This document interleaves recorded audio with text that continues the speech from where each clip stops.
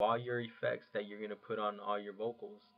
Um, so I'm gonna show y'all a real basic and modern and commonly used vocal chain, which consists of a parametric EQ, a compressor, another EQ, an exciter, a deesser, and a delay. So um, those are pretty common things that everyone puts on their vocals. An EQ and a compressor especially are the most common things, and probably a deesser or a delay. And I'm gonna throw in an exciter and show you how the exciter can really help your vocal. So what I'm gonna show y'all today, it can be applied to all platforms, any DAW. You can create any vocal chain, any kind you want. Everyone has different tastes, different order on how their vocal chain orders or whatever. Um, this is just mine. This is a real basic one.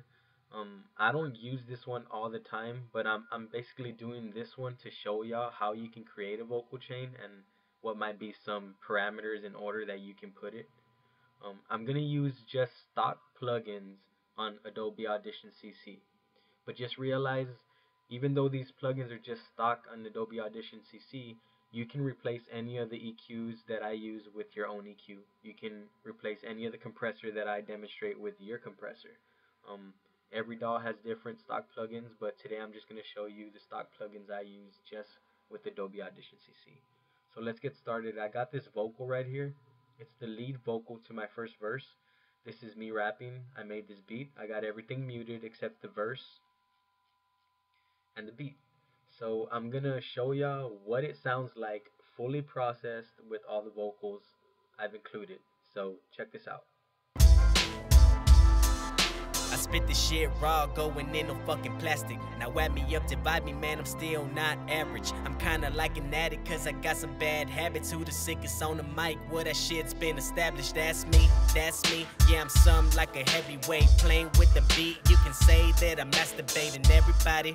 Everybody wanna rap, everybody acting hard, but they not in the trap. Okay, so that's with the beat, and I don't know if y'all can hear that, but it sounds pretty clean. Um, just some backgrounds on this vocal. It was recorded with an MXL 3000 mic, a PreSonus audio box, and it was recorded in my uh, vocal booth, which is acoustically treated. There was no preamp used, no saturation, no compression, no EQ. It was strictly just raw from the from the interface to the mic into the computer.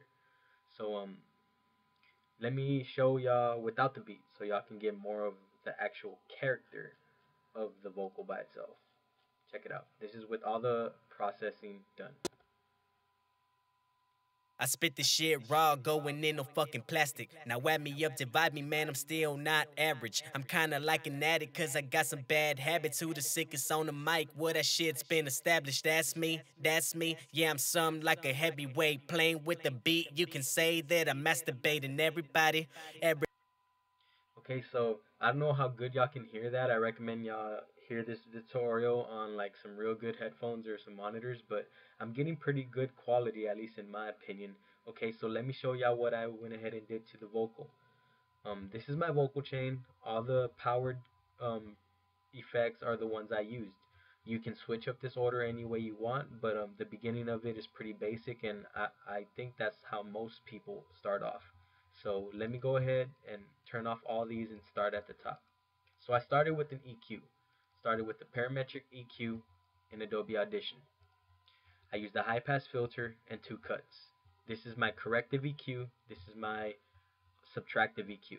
I use the high pass filter so I can get the vocal to cut through the mix, get rid of the low bass in my sound, and I did two cuts around 299 Hz and 501 Hz, which were some troubled frequencies. After that, I used the multi-band compressor. I used a ratio of 3 to 1 um, attack 5 release 10 and that's just regular compressor. That's what I use to get the dynamics down and get the peaks down. After another after that compressor I add another EQ this this EQ I use to boost to get the clarity in my voice. So I use the first EQ to get rid of the treble frequencies and the high pass filter. Then I use compression use the compressor to get the peaks down. And then I use another EQ to boost around anywhere from 2K to 5K and some high end to get that airy feeling and to get that clarity and that presence in your voice. For everyone, it's different, but the tone and clarity in your voice is going to be anywhere from 1K to 5K. So after that EQ, I use this plugin on Adobe Audition that I love a lot, and I haven't really seen it in other DAWs. It's called a mastering plugin. I don't use any of this. I don't. I don't use any of that. I don't use any of the output gain, loudness max, maximizer. I do use the widener. It's pretty good. It gets your vocal pretty wide, kind of stereo feeling. Um, I use the reverb a little bit, about 3%. I don't ever really use a lot of reverb when it comes to hip hop unless I'm doing like a real fancy um, hook. And then this is the main part that I love, the exciter part. This is the exciter that I was talking about. So um, I put it anywhere from 5 to 20% depending on the type of the song and whatever. But you there's a mode of the exciter and you can play retro, tape, and tube. I usually use tape saturation or exciter. So that's all I do for the mastering. Then I add a de-esser to get the harshness of the S's and the sibilants out. And these last two are optional in my opinion. A delay and a hard limiter. A hard limiter is just the final squashing of the vocal and in my opinion I don't really squash them I just get the little peaks out to get my vocal nice and even so that's all I do. I that's my hip hop vocal chain. I use an EQ, a compressor, another EQ, a mastering plugin, a de-esser analog, and a delay. So one by one, I'm gonna power these, and you can start hearing the difference of how I create my sound. So this is the vocal without the first EQ, the corrective EQ. I spit the shit raw, going in no fucking plastic. Now wrap me up, divide. This is with the EQ powered on. Every time I push these green buttons, it's powering it on and off. I spit the shit raw, going in no fucking plastic. Now wrap me up, divide me, man, I'm still not average. I'm kinda like an addict, cause I got some bad habits. Who the sickest on the mic? Well, that shit's been established. That's me, that's me, yeah. And you can see just with the corrective EQ, the high pass filter, and the two cuts, you have already cleaned up your vocal a lot. Next is the compressor. So this is without the compression. I spit the shit raw, going in no fucking plastic. With the compression. I spit the shit raw, going in no fucking plastic. Now wrap me up, divide me, man, I'm still not average. I'm kinda like an addict, cause I got some bad habits. Who the sickest on the mic? Well, that shit's been established. That's me, that's me. Yeah, I'm some like a. So that compression is just giving you a real even vocal and adding some thickness and some depth and some character to it. The second EQ is the boosting. This is where you're gonna hear the start hearing the vocal sound real clear. So this is without it. I spit the shit raw, going in no fucking plastic. This is with it. I spit the shit raw, going in no fucking plastic. Now wrap me up, divide me, man, I'm still not average. I'm kinda like an addict, cause I got some bad habits. Who the sickest on the mic? Well, that shit's been established. That's me, that's me. Yeah, I'm some like a heavyweight you could see how boosting a vocal can really help your vocal but you got to be real careful with the boosting and how much you boost because it can destroy a perfectly good vocal. Now here's my favorite this mastering just pay attention to the character of, of the vocal that it adds with this mastering plugin in Adobe Audition CC this is without it. I spit the shit raw going in no fucking plastic. This is with it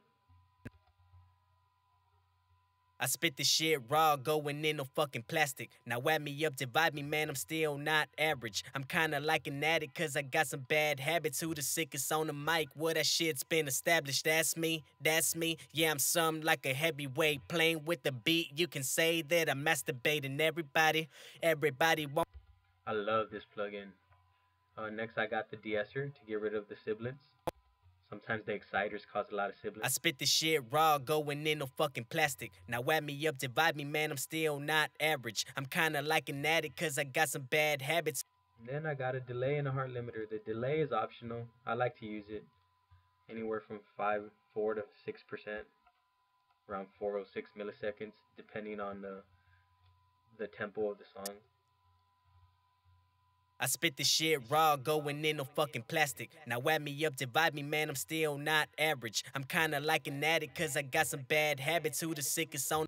Delays used a lot to like glue the vocal and the beat to, you know, so you won't have that much separation. It's used as a filler and it just adds a lot of thickness and depth.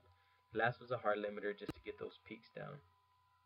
I spit the shit raw, going in no fucking plastic. Now add me up, divide me, man, I'm still not average. I'm kinda like an. You take a look at my hard limiter, I have it at negative 10 dB, so this vocal is not going to go any higher than negative 10 dB. I spit the shit raw, going in no fucking plastic. Now add me up, divide me, man, I'm still not average. I'm kinda like an ad. So yeah, yeah, y'all, that's my vocal chain. That's pretty much what it consists of. Um, I'll do another video similar to this explaining how my vocal chain differentiates when I use um, like Waves plugins, Fab Filter, You know, these are just stock plugins in Adobe Audition CC. I'll let you hear it one last time. I spit the shit raw, going in no fucking plastic. Now add me up, divide me, man, I'm still not average. I'm kinda like an addict, cause I got some bad habits. Who the sickest on the mic? Well, that shit's been established. That's me, that's me. Yeah, I'm some like a heavyweight, playing with the beat. You can say that I'm master.